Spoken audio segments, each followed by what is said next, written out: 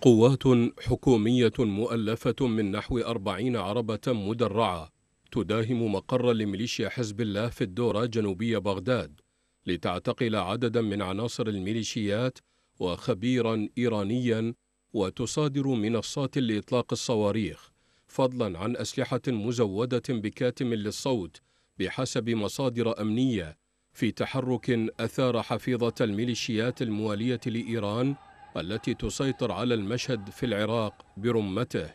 مصادر حكومية قالت إن العملية استهدفت ميليشيا أصحاب الكهف وعصبة الثائرين ومقرين تابعين لميليشيات حزب الله وجند سليماني مشيرة إلى أن عدد المعتقلين بلغ 23 عنصرا من بينهم إيراني بحسب وكالة رويترز.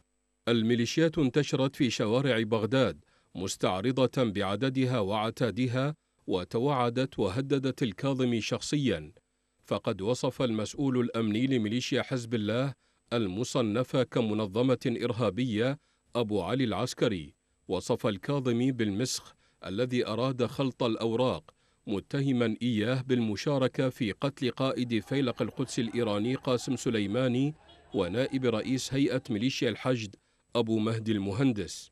ثانية. قادته عناصر الميليشيات ومن بينهم عبد العزيز الحميداوي الملقب بأبو فدك وأبو زينب اللامي وقيس الخزعلي قاموا بتطويق مقرات حكومية في المنطقة الخضراء في دليل واضح على هيمنة الميليشيات ونفوذها في العراق.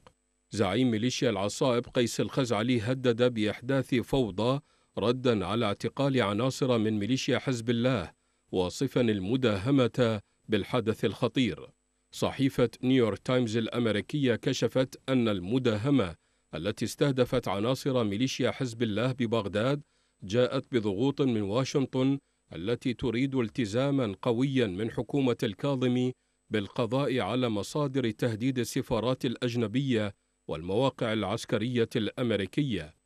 من جانب آخر فإن الميليشيات تتسبب بخسائر تقدر بمليارات الدولارات سنويا بسبب سيطرتها على إيرادات المعابر والمنافذ الحدودية بحسب رئيس الحكومة الحالي مصطفى الكاظمي الذي سماهم بالعصابات وقطاع الطرق وأصحاب النفوذ مع أن الكاظمي جاء بتوافقات تلك الأحزاب وميليشياتها.